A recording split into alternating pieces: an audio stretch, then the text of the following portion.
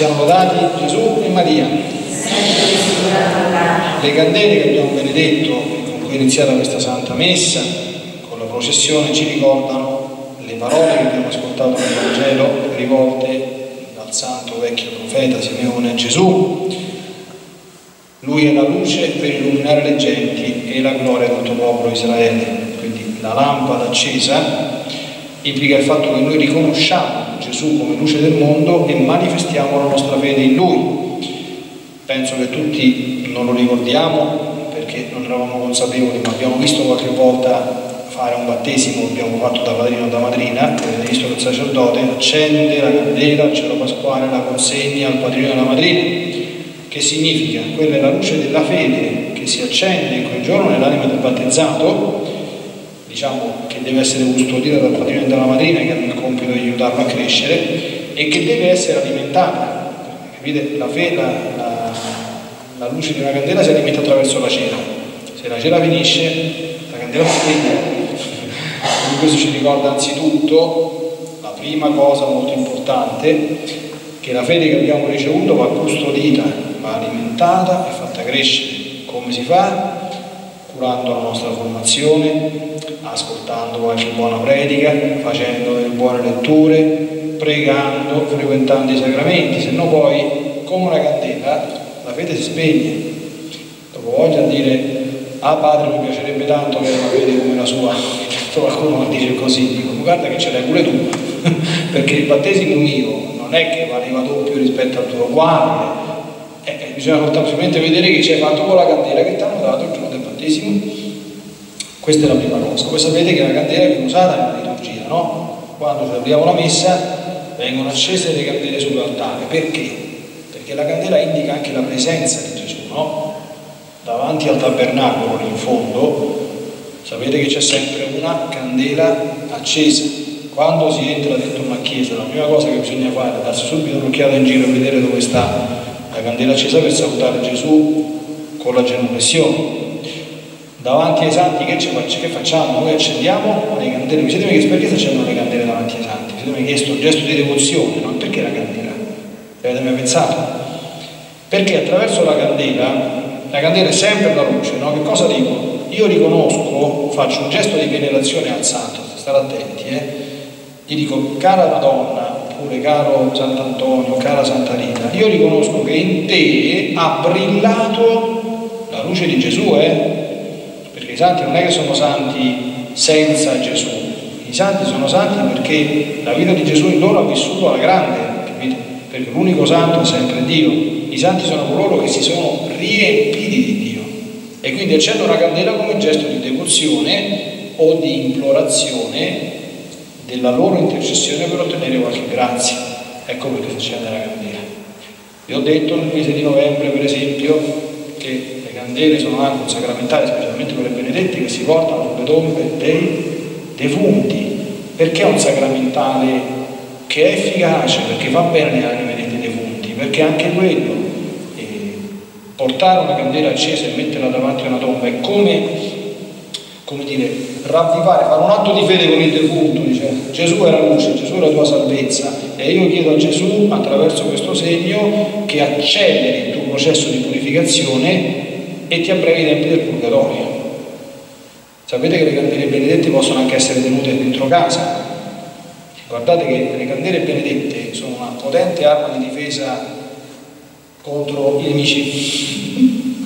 Io mi ricordo tanti anni fa lessi eh, da un esorcista che qualche diavolo gli aveva detto che se lui vede una candela benedetta accesa, diavolo, eh, se cieca, se deve girare dall'altra parte, non la può sopportare perché la, la, luce di una candela benedetta è la luce di Cristo, capito?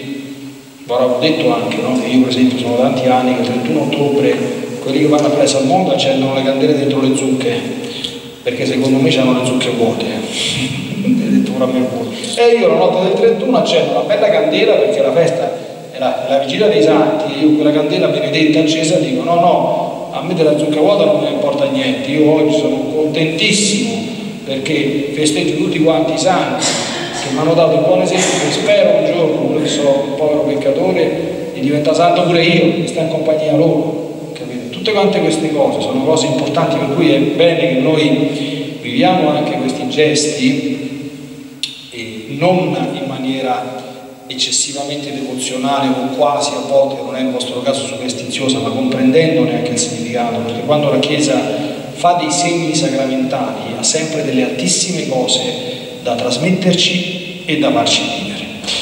Questo per quanto riguarda le candele. La festa di oggi, come sapete, fu presentato al Tempio e un tempo questa festa, chiudo con una breve riflessione mariana, si chiamava la purificazione di Maria, perché insieme a questo gesto che abbiamo letto nel Vangelo ce n'era un altro e a me fa tanta devozione ricordarlo. La Madonna, vedete come Gesù, come tutti gli ebrei, si è soggettato alla legge di Israele, ma guardate che Gesù era figlio di Dio, poteva ben dire, dice, ma che mi vado a presentare al Tempio io? Cioè, era lui stesso che aveva creato quelle leggi, capite? Però ha dato un buon esempio, io sono il primo ad osservare la legge che io stesso ho dato. Non si è dato la dispensa, noi ogni tanto ci diamo la dispensa della legge di Dio, ma Dio da se stesso non se l'è data, da rispettare tutta la legge. E la Madonna in quel giorno si faceva anche un'altra cosa, ancora più umiliante, perché le donne dopo 40 giorni dovevano fare un bagno sacro, rituale di purificazione. Perché siccome una donna partorendo perdeva sangue, nella legge del Levitico c'era scritto che quando una donna perde sangue è impura, è impura. Quindi come quando una donna ha i problemi suoi, che tutti quanti capite, durante il periodo in cui la donna aveva i problemi suoi, nessuno poteva toccarla quei tempi, perché se la toccavi ti eri contaminato, non poteva neanche essere toccata. Finito quel periodo doveva farsi un bagnetto rituale dentro casa e poteva riavere una vita normale anche come marito. Così quando partoriva c'era una cosa ancora più grossa, cioè doveva recarsi al Tempio di Gerusalemme 40 giorni dopo, fare un bagno rituale purificarsi, ecco perché la purificazione di Maria, ma che cosa deve purificare Maria, e poi ritornare ad una vita. La Madonna non aveva bisogno di quel bagno di purificazione, perché guardate che la Madonna non ha partorito come hanno partorito molti di voi che stanno qui. Il parto della Madonna è stato un parto virginale. La Madonna non ha né gridato, né ha avuto le doglie, né ha perso sangue. Però vedete anche lei nella sua umiltà si è sottoposta a tutto quello che facevano tutti, umilmente senza battere ciglio, quindi lei di tutti sembrava una donna comune, una povera peccatrice, figlia d'Adamo che andava a fare quello che tutti. E questo mi fa tanta devozione perché ci dà un grande esempio, a mio avviso, di grande umiltà. Quando una persona è santa veramente, non lo dà a mostrare. Quindi è una delle prime cose che, importanti che dobbiamo provare a fare, adeguarsi a quello che fanno non andare a fare eccezioni, differenze, cose di questo genere. Tranquilli. Ecco, se l'ha fatto la Madonna, se l'ha fatto Gesù Cristo, possiamo farlo. Loro erano santi sul serio. Cioè la santità deve trasparire solo da una cosa, come traspariva da Gesù Maria, dalle virtù che tu hai e che per quanto stai attento a non ostentarle poi si vedono. Capito? Perché se tu tratti sempre bene il prossimo, il prossimo se ne accorge, giusto? Se tu non parli mai male di nessuno, guarda che c'è qualcuno che dice io non ho mai sentito dire mezza parola storta di nessuno. E questo si vede. Se lo fai, si vede. Se non lo fai, non si vede. Capito? Se tu sei una persona che prega, eh, anche se non lo devi ostentare, eh, si vede, d'accordo? Perché se uno prega va in chiesa, ti vedono. ecco, quindi l'unica cosa che si vede sono le virtù, il resto non va mai in nessun modo ostentato. Ma lo lasciamo che lo conosca soltanto il Signore e lo confondiamo con una vita apparentemente normale, che è sempre la cosa più gradita al Signore che non chiami l'attenzione, che non desti, ecco, mm, non accenda riflettori. Voi pensate quanto è lontano questo stile di vita da quello di oggi, che oggi la, la, la gente fa a gara a chi sta prima sotto il riflettore e ora che c'è sta internet, la televisione e il resto è ancora peggio di prima, d'accordo?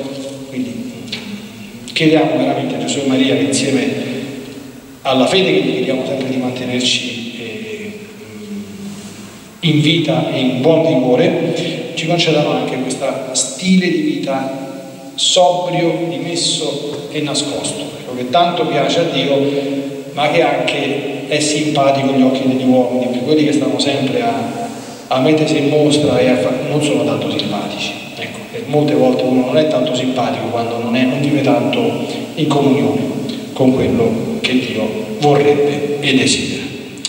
Siamo lodati Gesù e Maria.